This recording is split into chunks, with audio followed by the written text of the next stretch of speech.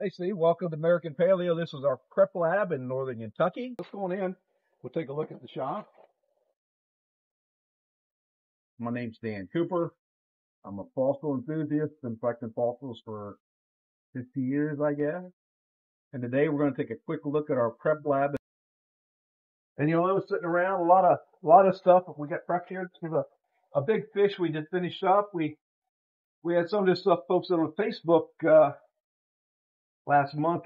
And the storage shelves literally have tons of unprepared fossils. This is all of our customers based stuff. You'll see the different labels and stuff on it. We got a couple main clients that does probably 50% of our, our business. Pick it in the field and it may work out and it may not. In the field, it's kind of hard to see is it going to be good or not. So what we do is we go through it real quick. We kind of high grade some of the best stuff. Hey, make sure you work on that isotelus from Maysville or whatever. So we'll work on that first. So this is where we store everything. And with the prep lab, we use a lot of pneumatic tools and air braces. So we have to have a utility room with a, a high quality supplies, tools. So you'll see in here, we've got a, a Quincy industrial air compressor, pretty expensive tool. Our pneumatic tools don't like moisture, so we have a dryer. This is a refrigerated dryer which takes all moisture out of the system. Then we have two industrial dust collectors, which cycle through the dust as we work in the air abrasives and the chisels and stuff like that. And then you go over to the area where this is where we do our 99% of our work is our, our prep stations. We use, uh, air abrasive to clean stuff and we really use everything we have is SS white. We've, we've, uh, standardized on one type of unit because the parts are similar and we know how to repair them. There's a bunch of different air abrasives out there that you can use for foam. Now, what this does, it takes a very fine powder, almost like talcum powder, and it goes through an air system and we have a vibrator which actually shakes it through baffles and brings the powder into the prep area. This is a, a, a typical prep station. And, uh, you'll see the the dust collecting systems here is try to maintain the dust, and it's a central system. It all goes back, all goes back to the the uh, dust collectors in the utility room. But we have two stations at each work area. We have a we call a shooting station. This is where we use our air abrasives, and we use a very small tip unit with about 90 psi, and this is where we clean the fossils and we try to keep much as much of the dust out of the shop as we can. So we have an area in here. You see, we have I've made baffles, 3D printed some uh, some flexible plastic to keep keep it surrounded around your hands. So we shoot everything in here, and we do everything under a microscope in the air abrasive area. And with the chiseling, it's the same way. We try to use a microscope. There's a number of different chisel types. This is a heavy duty unit. This is for for roughing basically, and this is about fifteen hundred dollars. These these these chisels are pretty expensive. And then we have a, a, variety of different types of chisels. Each one does a different thing. This is Chicago pneumatic. This is more like pounding, whereas the, the scribes are more like fine chisels. So this takes out matrix a little bit quicker. Not as, not as quick as that, but it takes out a little bit quicker. And then as you get closer down to the fossils, you go finer and finer tools. You can see the real fine tip on them there's not on. And then another different style chisel uses. All different type of tools. And some of the chisels are pointed chisels, some of them are flat. They do different things. The flats are good for sculpturing surfaces, make them look, look nice and smooth. Then each station we have, uh, you know, like a tray which holds the different types of glues. We use exclusively Starbond epoxies. Um, we do have B50, B72, which is a uh, a acetone based plastic, which a lot of the museums like to use because of the longer life and the, and the more stability. But the super glue works best for us and it, and it's easy to use. So we've got some of our master guys. This is, this is Patrick over here working. Uh, Patrick has a degree in art. We found out through, through trial and error that the best preppers are artists. We tried geologists. We tried guys off the street and that type of stuff. Good mechanics and I get, but the best guys have been the artists because of their mentality, the way they look at things. the way their their psyche is that they can sit for eight hours in a row behind a, a microscope and not go crazy. Patrick's got a degree in art. Ken is our other prepper. Ken has a degree in art. Ben has has some art background. He's taken some colleges at, at the University of Cincinnati. And then uh, this is my grandson's station here where he works. And you can see that's kind of what it is. And you, you can see Ken in here. You can get through the glass. He's air braiding a specimen right now. He's kind of blowing off, see what he's got. got. And that's again out of the, the uh, SS White units. And his set of tools. And you can see, you know, each one of these microscopes, probably $500. So one, two, we probably got $3,000 of microscopes in here. And all these pneumatic chisels are the same way. They're pretty expensive to buy them new. Lighting's important. Whenever we abrade, we use different styles of light. We have uh, LEDs, we have uh, halogens to give you a more complete spectrum of the lighting. If you use just one type of light, it doesn't give you a true look when you go out and look in the sunlight. Just a sample of some of the stuff that you work on, you know, the the trilobites. These are some trilobites that have gone through, been air braided. And you can see what they look like. Uh, it looks like this before you air braid it, kind of dusty and nondescript. And then when you air braid it, that all comes, pops out for you. When you finish it up, there's repair and, and blending and stuff like that. This is what we call our clean. room. So we have it separated intentionally. It's got its own separating dust collecting system. And here's where we do the touch up with the paint and the coloring and the repairs and, and, all that type of stuff. But it's designed to do that because it's a finished room.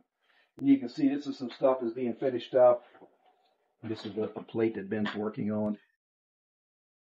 Riptor is a pretty famous fossil. Uh, just about every fossil collector knows what a riptor is. So we do a lot of the touch up. It costs money to prepare a fossil. So, you know, average cost is probably a hundred to two hundred dollars to prep a fossil. And if it's a brachiopod or a crinoid stem, you don't want to put that kind of money in. So it's got to be a, a worthwhile specimen to do it. And you know, typically a fossil when it's found until it's prepared, it's not very valuable. It has to be cleaned up. And question is, do you put $500 into a nice trilobite piece for your collection? Uh, most people don't do a lot of the stuff we do here is commercial collectors because they're going to resell it. So they can say, yeah, I'll put five hours prep into it. I'll sell it for $2,000. We do. We turn, we make a fossil that's really unprepared. Don't know what you got. You know, maybe it's a hundred worth a hundred dollars. We'll, we'll put time on it. Maybe make it a thousand dollars special. We do a lot of stuff like that. And that's so. Dan, how long have you been doing this? Uh, that's a good question. I uh, I know I started in the mid '70s. Whatever, 70, 73. So what's that? Almost 50 years.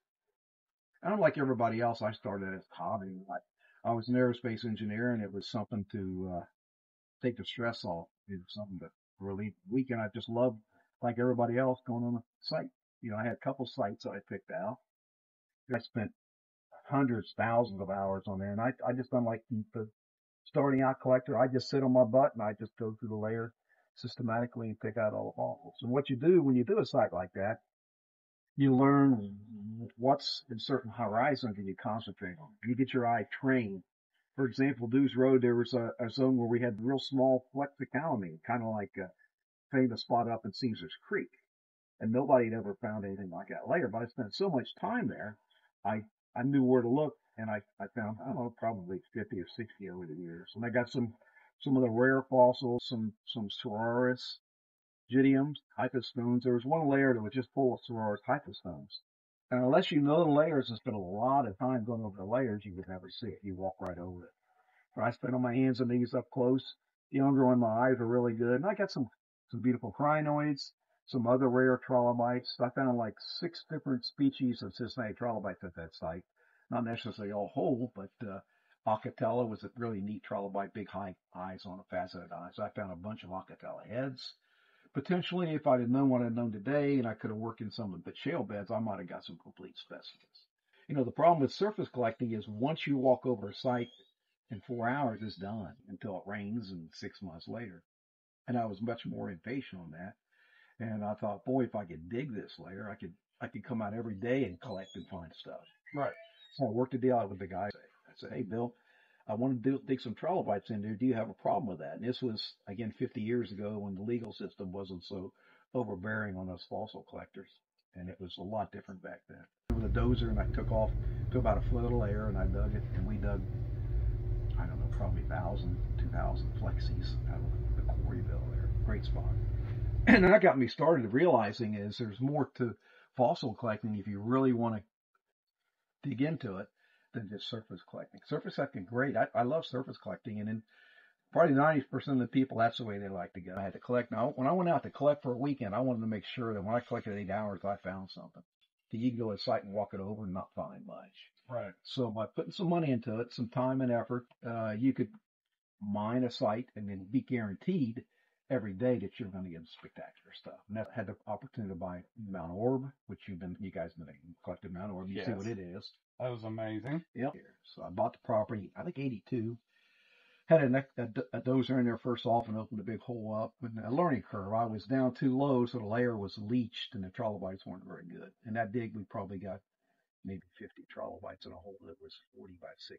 Know, Mount Orab's been incredible. There's probably average of a trilobite to a trilobite and a half every square feet.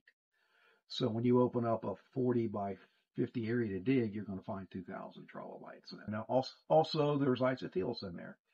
Normally about 10 to 1. So every every 10 flexing we find one isotelus. So we find 200, 300 isotelus. And back then, the zone where we were collecting, there was a lot of large isotelus, large being 8 inches. With that, I've got property that I've dug all over. I leased the Sylvania Quarry up in Sylvania, Ohio, famous quarry. Uh, leased Waldron Quarry. Um, my partner and I have bought property in, at uh, Crawfordsville, New York, o- Oklahoma. We've had leases. Got a, a Shark's Tooth Hill in California, Bakersfield, California. We got a lease out there. Um, so a lot of different properties. And again, I do it all the way I do it is I dig it. That's amazing. And uh, actually, a lot of your fossils have ended up in museums, right? Sure, sure, yeah. I there's a there's a issue typically with some of the I'll call them professionals, the academics and the amateur collectors that they think that we shouldn't collect fossils. Not all of them are like that. Some of them are great, but there's a lot of them, and they're the squeaky Wilson, and they're the ones that get all the attention that say, you know, the amateur collectors shouldn't be collecting fossils, specifically dinosaurs. They're really bad about dinosaurs. But I basically collect stuff, and, and I spend a lot of money. I spend my American Express bill probably is forty thousand dollars a year, fifty thousand dollars a year, and I'm a retired aerospace engineer. I've got money, but I can't afford to justify that kind of money. So I sell the stuff. I sell the second rate stuff, the stuff that's not scientifically valuable. It, but the answer to your question is, if it's something unusual, maybe a, a, very rare specimen like a carpoid. I found two carpoids in my career, both of them at the Cincinnati Museum Center. Found a big crinoid plate uh, uh, that's at Cincinnati Museum Center. So something that's scientifically valuable, I definitely uh, work with the museums and donate. I've got stuff in several Chicago Field Museum, Royal Ontario Museum, the British Museum of Natural History, Houston Museum, which is a great museum. Houston's one of the best open display museums that I know of as far as the fossils go. It's a great, and Sam Stubbs done a great job of making that what it is. And then I'll, if they have a research, for example, I got a call from Brenda Hunda a couple years ago that she wanted 50 perfect rolled up flexicalymene to measure and do scientific study on. And so I pulled out of my collection and gave her 50 perfect flexies. So stuff like that. And I do a lot of teaching. Uh, you know, we got to work for the young kids in this hobby, keep them interested in it. So I, I try to work with the young kids. I donate a lot of stuff at shows and a box the kids can go through. You're doing a lot, and you're making these fossils available to us, you know, amateur collectors like me yep. and Laura here. And uh, we're of course passing that on to our kids. You've seen our kids. Oh right? yeah, they're all about it. Yep, yep. And uh, uh, it's it's absolutely fantastic. Well, the problem is if you don't keep the general public interested in it, uh, eventually the academics are going to. There's not going to be support for that. And they don't realize that is if you don't have people that, that go to the university and say it's important that you have dinosaurs to work on, eventually your university is going to say we don't, we're not interested in that. For example, the big problem right now we have, especially in invertebrate stuff and, and major historically famous paleo uh, institutes, for example, Cincinnati Museum, Miami University, their paleo departments are basically dissolving. Miami's de- department's all but gone. UC is nothing what it used to be, and the biggest biggest part of that is there's not that much interest from the public nowadays. Part of it's the the uh, electronic technology, the phones and the games and all that kind of stuff that people do. But a lot of it's the attitude that comes out of the professionals that you know it's it's criminal to collect fossils on on federal lands or it's criminal to collect fossils on on state land, and and people take that to heart, and so you lose interest in it. And they're in my mind they're cutting their own throat on that kind of stuff. You need to work with people. And you know, for example, if if you're worried about the scientific part of it, then work more to educating the amateur collectors so that they collect them. That's responsibility, or responsible enough that the the academic can say, yeah, we can use that data because you've, you've collected this and this and this, and you've done this way. But but there's none of that. There's it's the opposite way around. Especially the, the vertebrate people, they they go out of their way not to let stuff. It's really really detrimental to the to the science and the education to it. In my mind, it, it's really I can see it in 50 years I've been collecting fossils. I can see a big change in the interest to them and in the interest to the public. There's much much less people interested. There's still a lot of people interested in fossils, but not nearly like they used to be. And the attitude too. Well, I say it all the time, not just with fossils, with uh, animals, and because you know we do a lot with reptiles and Yeah. such. If people aren't uh, getting experience with this, if they're not introduced to it, if they don't get to interact, they're not going to care. And you know, like to your point, in the future, that's really going to hurt hurt the fields more than anything if if we're not able to, at some extent, you know, get involved with this. And so I think what you're doing is great. And uh, when when you invited us to come up to Mount Orab, we had the absolute best time, and we couldn't wait to get home and show off the fossils that we found there. Uh, we've probably shown the fossils off to several hundred people, and uh, you know, and that's just it, it was awesome. Share, share the share the fun, yeah. Quite honestly, when I when I collect Mount Orab now, I've collected probably 20, 25,000 trilobites of Mount Orab. And after you've collected that many, you don't get real excited. I still I still enjoy finding a nice trilobite, but it's it's not like it was when you collected your first one, the first person come in. So I I really enjoy people like yourself coming out and collecting and sharing. I have I definitely have more time better time uh, bringing people out and having them find a trilobite than finding it myself. well, we were super grateful. and you were you were super nice, and, and you know, it, it's it's stuff like yourself. I mean, typically most of the fossil collectors I know have other things they love to do. They love to collect arrowheads. They love fish. They love to collect mushrooms. They're collectors. They love to metal detect. It's it's interesting. It's it's it's something that's in your genes that once you like to do it, you know, I, I, I metal detect. I like to collect Indian artifacts. I like to do a lot of different stuff like that. That- Mushrooms, I love collecting mushrooms.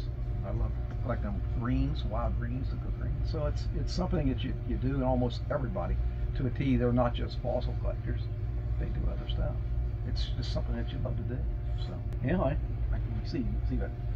Yeah. So Ken's Ken's tu- doing some final touch-ups on stuff, and again, what he's doing is he's highlighting.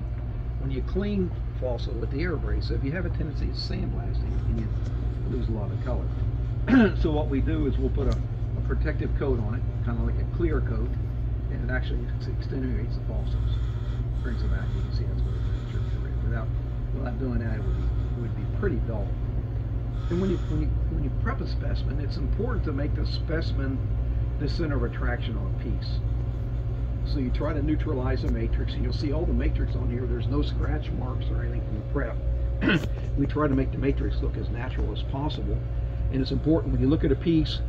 The first thing your eye catches is the specimen you wanted to see.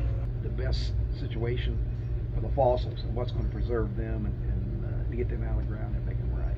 But, uh, this attitude of not letting anybody collect anything anywhere is, is not helping anybody. By the same token as you don't want a, a free for all. You don't want every every Tom, Dick, and Harry going out and collecting a dinosaur on land because they they will destroy it. But in my mind, the best way is a synergy of the amateurs and the commercials. Is you if you if you want to collect fossils on federal lands, you have to have a permit, just like you do to, to fish. Right. Hunt. Sure. And that money would go into a kitty where it would support the, the professionals. And what you do is, before you get that permit, you got to go through a training, like like a hunter. guns and stuff like that. So you would give them the, the training of how to collect a fossil so that somebody doesn't go out just pull a fossil up and, and bring it back and set it on, and all the scientific data's gone. You train them. And to do that, you have to have the permits. And with that same line is you can't go out and collect a, a T-Rex and take it home and keep it. You know, if that's, that's something scientifically valuable, it should go back to the institutes. And there's, you know, Germany's a good country that does that. As an amateur, you can find stuff, and and the government can take it from you, but they have to give you some monetary value. Maybe not millions of dollars, but at least pay for your expenses and stuff like that. And that's that's the kind of that's the way I would see it would be the best for the fossils. Dan, thank you so much for showing us around. We really appreciate it. You're doing some amazing things here, and uh, I hope you do really good at the Tucson show.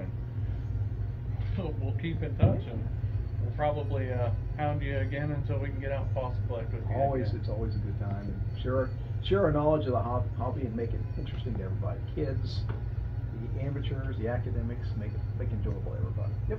Thank you. Thanks for coming.